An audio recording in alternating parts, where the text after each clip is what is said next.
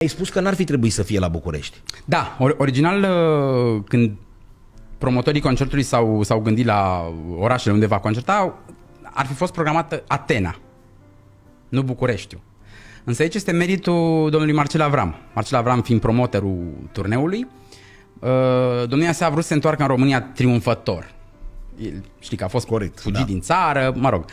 Și cum putea să vină mai frumos în România, să coboarele pe, pe, pe scările avionului, toată presa a citit pe el, la cotului celui mai mare artist al momentului. Adică pentru el a fost o, o, o revenire triumfătoare în țară. Plus că aici au fost și discuții de ce. Uh, concertul din 92 a fost primul și singurul concert Michael Jackson transmis în direct de, de către HBO. Da, niște bani mulți. Exact. Mulți. Exact.